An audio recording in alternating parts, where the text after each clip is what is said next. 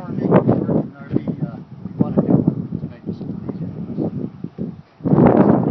Uh, changing the tanks out from little five gallon tanks to seven gallon tanks for propane.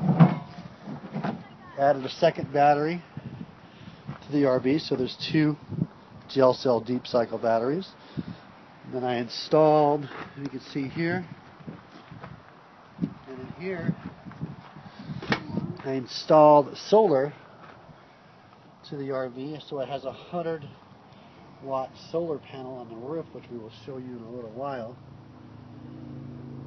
Meaning that the RV park charges 17 cents a kilowatt. For, we use the electric only for PCs during the day for homeschooling, and if we ever need to use a microwave, besides that, we're on full sun solar power. Let me show you the uh, solar panel up here. It's a little windy.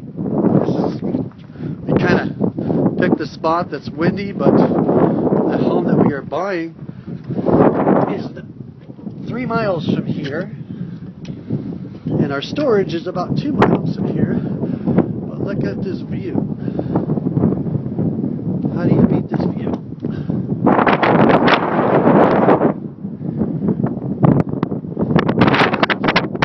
We have a little yard in front of our RV, so I don't think you're really going to get that much else else.